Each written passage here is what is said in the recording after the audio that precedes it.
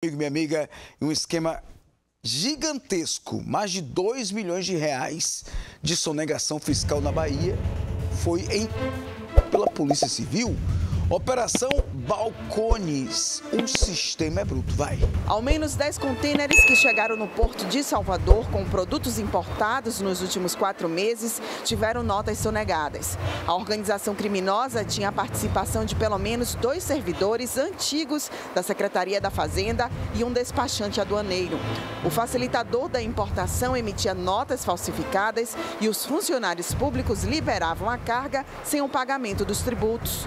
Na coletiva imprensa, delegados da Polícia Civil falaram sobre o esquema desarticulado após a denúncia de um empresário que estaria devendo 1 milhão e 800 mil reais aos cofres públicos.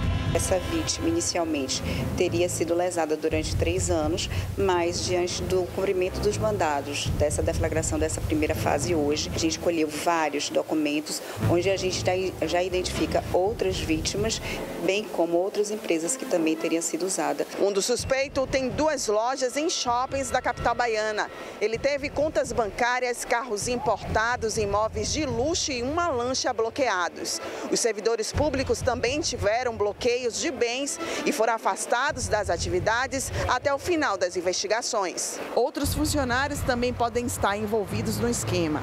Os suspeitos pelos crimes podem responder por organização criminosa, sonegação fiscal e falsificação de documentos. Ninguém foi preso com as informações que a gente colheu hoje no cumprimento dos mandados de busca com apreensão de computadores, notebooks e farta documentação, a gente já sabe que essa organização é bem maior do que inicialmente a gente já tem identificado. Operação Balcones, meu amigo e minha amiga, mais de 2 milhões de sonegação fiscal, hein? Aí você vai dizer, ah, mas está roubando o governo. Você sabe que com essa sonegação é menos dinheiro para saúde, para educação, menos dinheiro para pavimento da sua rua.